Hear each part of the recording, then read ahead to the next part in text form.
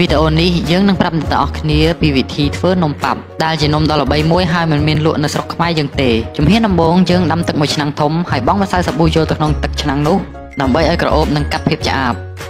ជំហានបន្ទាប់គឺយកស្ករសមួយក្តាប់ដាក់ចូលទៅក្នុងទឹកសម្ល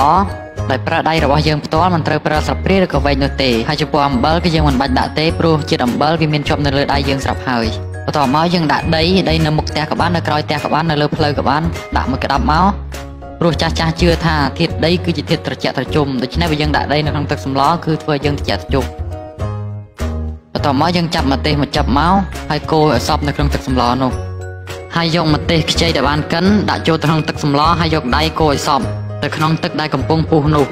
នៅសល់ម្ទេសជាប់បន្តិចបន្តួចគឺត្រូវកោសឲ្យអស់ដើម្បីសន្សំសំចៃតែប៉ុណ្ណេះយើងធ្វើបានទឹកសម្លសម្រាប់ជ្រលក់នំប៉ាប់មួយឆ្នាំងហើយឃើញទេគួរឲ្យឆ្ងាញ់ខ្លាំងណាស់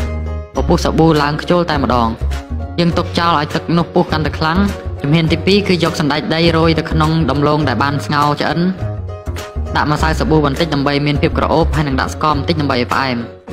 លោកអ្នកក៏មិនត្រូវភ្លេចដាក់ដីក្រហមនៅក្នុងនោះផងដែរដើម្បីមានពណ៌ស្រស់ស្អាត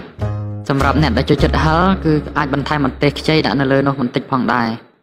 បន្ទាប់ពីដាក់គ្រឿងរួចហើយអ្វីដែលលោកអ្នកត្រូវធ្វើបន្ទាប់គឺត្រូវច្របាច់វាឲ្យម៉ត់ចូលគ្នាជៀសវាងស្លាកពេលកំពុងតែញ៉ាំ យើងត្រូវប្រើកម្លាំងឲ្យខ្លាំងដើម្បីច្របាច់វាឲ្យម៉ត់ដែលចាស់ចាស់និយាយថាច្របាច់ឲ្យខ្លាំងមួយទំហឹងមនុស្សចាស់